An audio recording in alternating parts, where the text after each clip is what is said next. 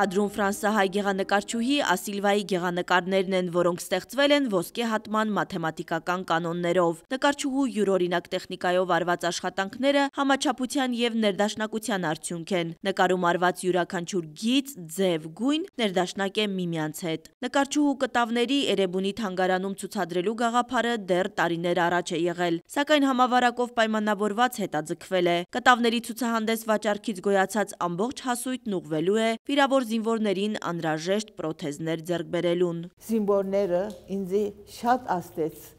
այս պատերազմը զինվորներուն երիտասարդները որ կացին մերան ցերկ ցերկերին գործունեցին ոտքերին գործունեցին ըսի որ այս բոլոր ինչ օգնություն մրինք արգավ բայց անգեզատ իմ նկարներով սա օգնություն մնեմ ինչ որ զախվին է բոլորնա այդ զինվորներուն համար է, էսի վնաս տեսած զինվորներուն համար է։ Էրեբունի պատմահնագիտական արգելոց թանգարանի տնորեն Միքայել Բադալյանը ներկայացնում է ցուցադրության խորհրդանշական վայրը Էրեբունի թանգարանի ներքին բակը։ Էրեբունի թանգարանի ներքին բակում այս ցուցադրությունը իրականացնի, որովհետև տեղը իսկ շատ խորհրդավոր է, ինքը արված է հենց իր հատակագիծը ուրարտական, այսպես ներքին բակի ձևով, հա, մենք կամած կամած այս հատվածը բարելավում ենք, պատերն են ներկվել, որոշակի աշխատանքներ են իրականացրել, խնդիր ունենք տանիքի հետ կապված, որը հսկայական միջոցներ է պահանջում, որովհետև ոչ թե տանիքը պետք է փոխել, այլ ջրահեռացման համակարգն է սխալ ժամանակին։ Ֆրանսահայ նկարչուհու համար ուրարտական մոտիվներով արված նկարներն առանձնահատուկ են։ Այն ներառում է հայ ժողովրդի հնագույն պատմության խորհրդանիշները։ Անոր համար ուրարտու են օբյեկտներուն նկարները արի եւ անոնց վրա աշխատեցա։ Բոլոր տաբլոներս մեջը ուրարտու են, փամ մգգնակ գտնալ։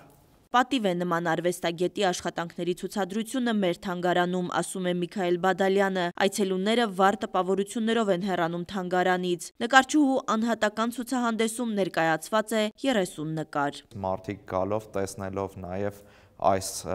հրաշալի նմուշները,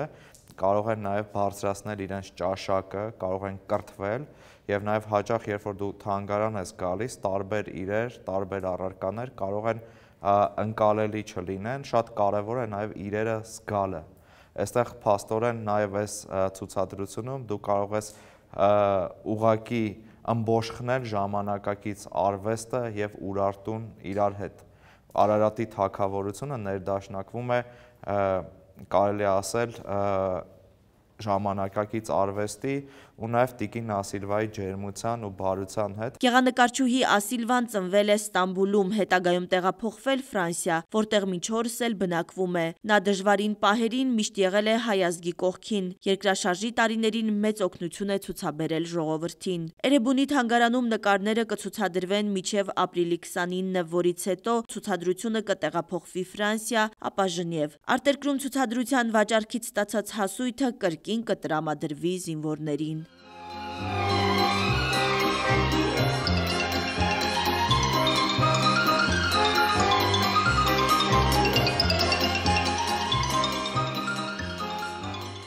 Հասմիկ Ֆարադյան, Կարապետ Կարապետյան, Արմալուր